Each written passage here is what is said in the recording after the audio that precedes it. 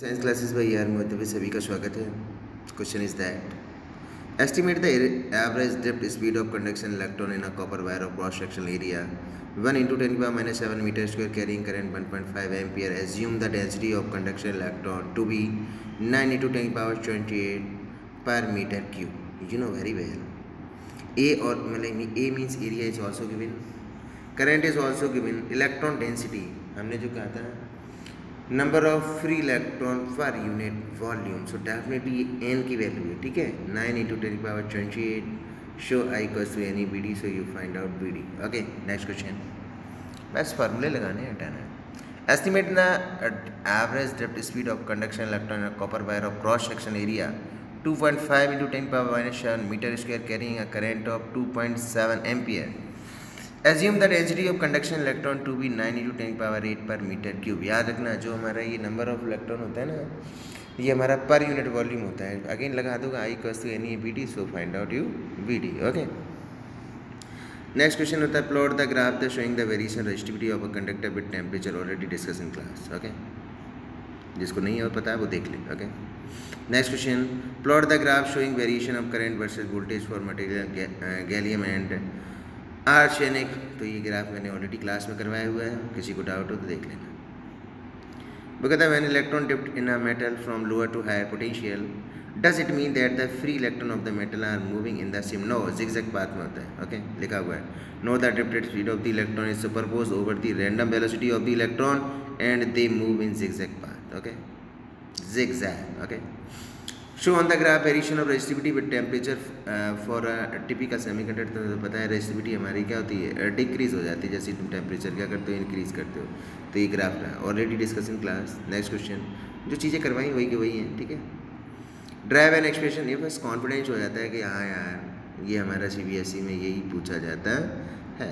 Already मैंने सब कुछ करवा रखा है okay derive and expression for the current density of a conductor in term of drift speed of an electron. बहुत अच्छे से डेरिवेशन करवाया हुआ क्लास में। देख लो।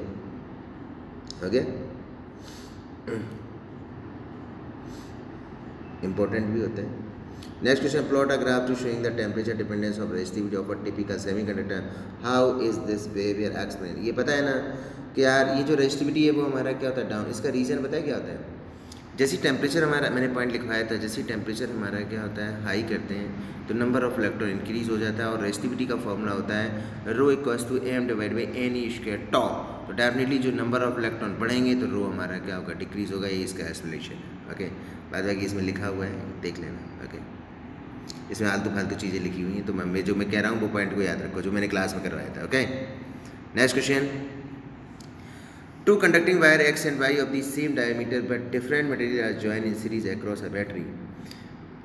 If the number density of X is twice the Y, then the find out the ratio of drift velocity of electron in the two Y. देखते हैं answer है सीरीज़ में होगा करंट सेम होगा आई कस तो एन ही है बी डी दोनों का रिलेशन निकाल दो और जो एन हो जाएगा वो ड्रिफ्ट वेलोसिटी का इन्वर्सली प्रोपोर्शनल हो जाएगा तो V X upon V Y N Y upon N X तुम्हें रिलेशन पता है कि जो एन एक्स है वो हमारा two N Y one ratio to देखते हैं आंसर ओके बस कॉन्सेप्ट क्लियर होना चाहिए आंसर तो क्लियर नहीं होता है। वो कहता है the EMF of cell is always greater than is terminal why give reason because हमारा क्या होता है जो सेल uh, के इंटर्म थोड़ा सा पोटेंशियल क्या हो जाता है? ड्रॉप हो जाता है। तो वो लिखा है the EMF of the cell is greater than the terminal voltage because there is some potential drop across the cell is due to small internal resistance so V equals to E minus I R you know very well because terminal voltage equals to EMF और small R equals to internal resistance of a cell A cell of EMF be internal resistance small r. Draw a current I. Draw uh, write the relation between terminal voltage B in term of E and IR. B equals to E minus IR. देखते हैं answer. Okay.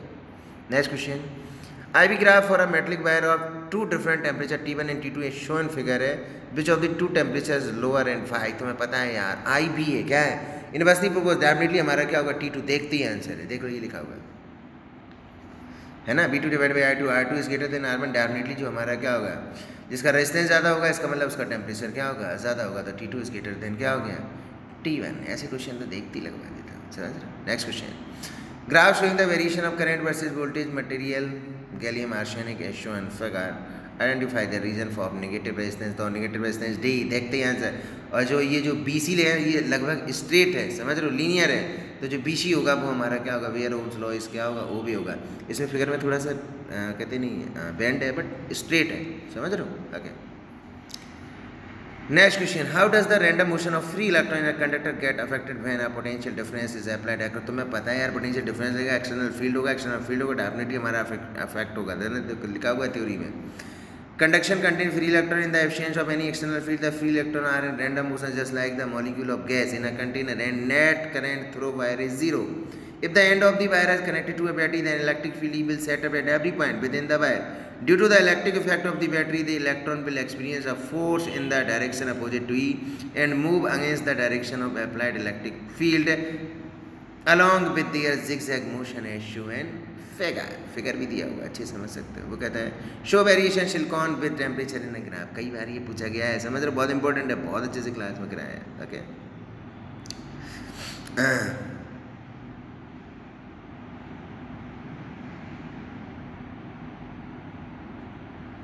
जरा ध्यान दो।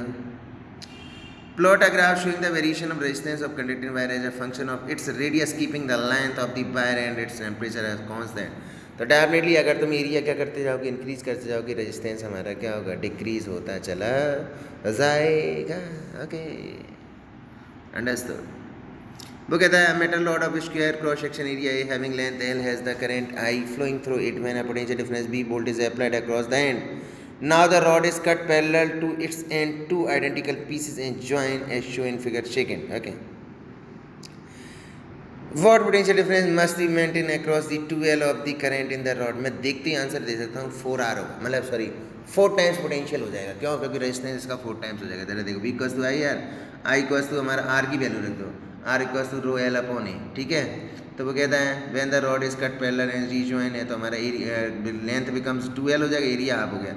तो B dash में हो गया I rho two L A Y two तो फोर टाइम्स हो गया। तो आंसर इज़ फोर बी देखते ही आंसर ओके नेक्स्ट क्वेश्चन वगैरह ड्राइव एक्सप्रेस अब drift velocity of the electron in a conductor है जिड्यूज द होम स्लो है। बहुत अच्छे से कराया है ये देखो, जिसको नहीं पता हो। वो स्क्रीन शॉट ले ले। ओके नेक्स्ट क्वेश्चन देखो।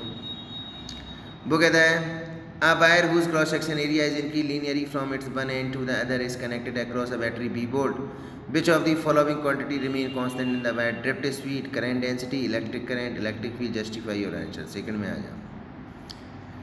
वो कहता है the setup is shown figure here electric current remain constant throughout the length of the wire the electric field also remain constant which equal to B upon L okay current density changes as the area of cross section changes continuously and hence drift velocity changes according to formula of J equals to any बहुत ही प्यारा question है, समझ रहे बात को? ऐसा question पूछने के चांसेस होते हैं, समझ रहे बात को? Okay okay.